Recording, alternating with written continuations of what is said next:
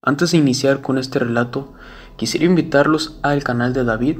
Es un canal donde aprendes a generar dinero por internet con las mejores plataformas ya probadas por él. Te invito a que te suscribas y le des a la campanita. Esto es Relatos Desclasificados. Debo de decir que no me ha sucedido nada a partir de esa época en donde yo trabajaba como voluntario de la Cruz Roja, pero hasta la fecha no he podido explicar ciertas situaciones. En la unidad donde laboraba, siempre sucedían cosas extrañas. Se escuchaba cómo apaleaban arena, se escuchaban pasos. A veces debíamos dormir dentro de la ambulancia y comenzaba a moverse. También, a ciertas horas de la madrugada, se llenaba la delegación de un olor muy repugnante, que siempre lo achaqué a la poca higiene de algunos compañeros. Incluso, por tales situaciones, Hacíamos bromas al respecto y hasta bautizamos a nuestro fantasma como la picada, debido a que todo se desencadenó a partir de que llevaron a una mujer que fue apuñalada por su marido y falleció en el lugar. Todo era cotidiano y no nos espantaba en realidad, solo nos causaba intriga por saber qué era lo que causaba dichos fenómenos.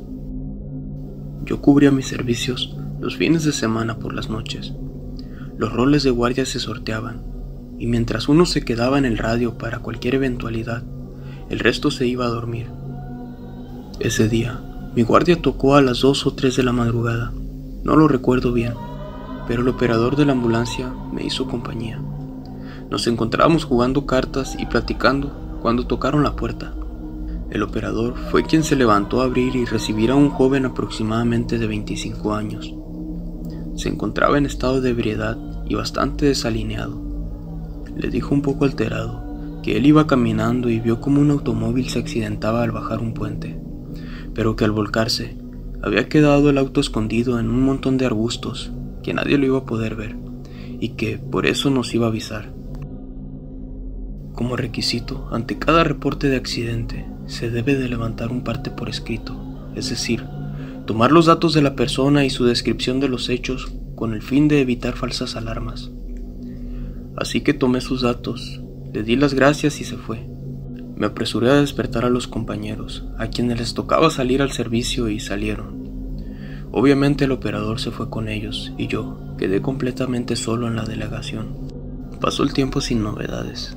Aproximadamente una hora después, me hablaron por el radio para indicarme que ya iban de regreso a la unidad, pues el conductor del auto había fallecido y en esos casos el levantamiento del cuerpo y demás trámites le corresponden a la CEMEFO.